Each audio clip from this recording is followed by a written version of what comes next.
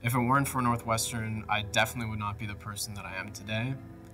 I don't think there's any other place that I could have done both trombone performance and a political science major, and I'm really grateful for that.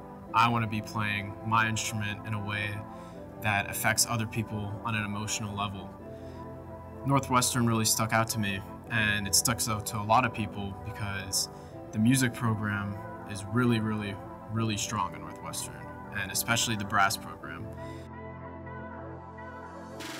There's so many enriching musical opportunities around. There's the Chicago Symphony Orchestra in downtown, there's the Lyric Opera downtown, there's music of the Baroque, and the Northwestern ensembles are just really, really stellar.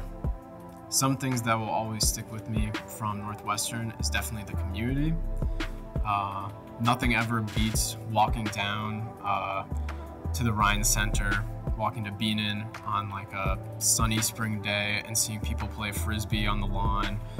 I think that's really important that I was able to be exposed to just such a supportive environment here because now I'll be able to recreate that and know what environment I'll want later down in life.